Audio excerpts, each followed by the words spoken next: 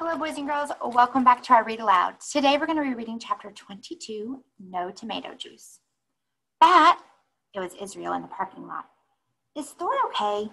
Bat nodded, which made the tears brimming in his eyes spill down his cheeks.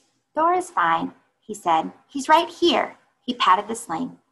Bat, buddy, I really don't think it's a good idea to bring that thing to your sister's play, Dad said.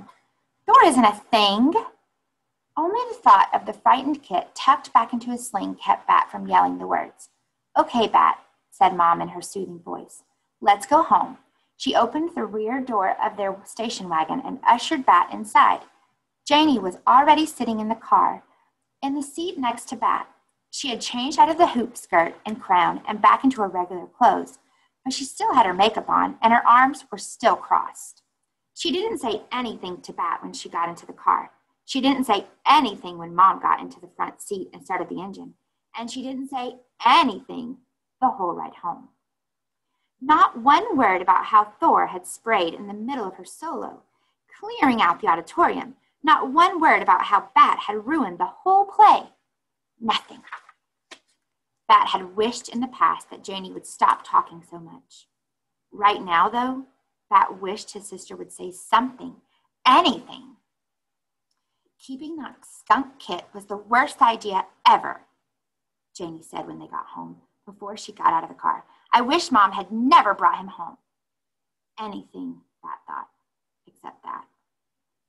Bat had a terrible night's sleep. It was particularly because, part, not particularly, partially because he still smelled a little bit like skunk spray. Mom had washed his clothes and had given him a mixture of hydrogen peroxide, baking soda, and dish soap to scrub with in the shower.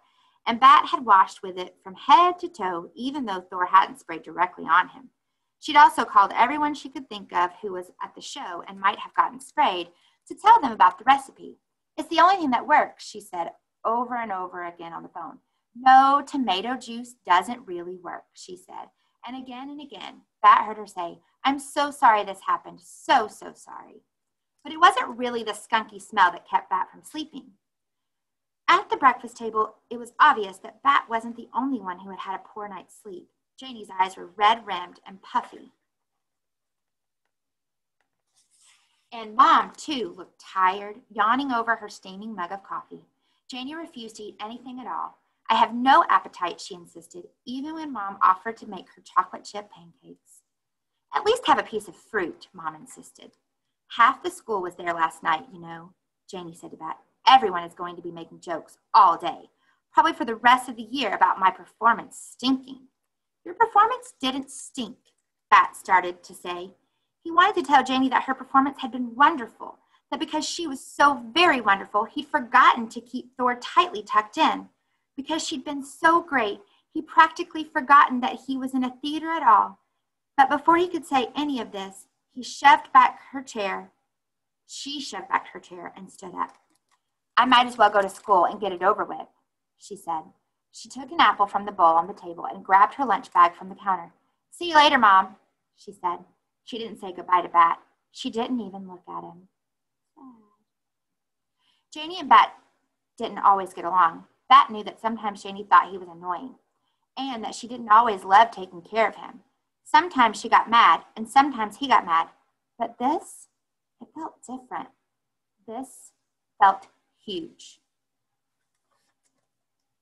All right, and that's the end. Chapter 23 is called Company. Have a great day, friends. Learn a lot. Thanks for joining us.